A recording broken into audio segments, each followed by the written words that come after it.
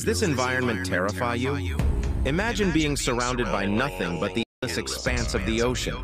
Yet working here could earn you a monthly salary of up to $50,000. This is the daily reality on an offshore oil drilling platform. Here, the waves of the ocean can be intimidating, rising and falling with an unpredictable force that reminds you of nature's immense power. The vastness of the water stretches out as far as the eye can see, engulfing everything in its path. And when storms rage across the ocean, it's a nerve-wracking experience, with towering waves crashing against the platform, threatening to engulf it in their relentless fury.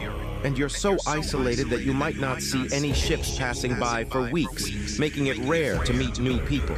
And when night falls, it gets even more terrifying. When you step outside onto the deck, you experience what true darkness is. If you throw an apple, it simply disappears into the darkness. So, would you work here?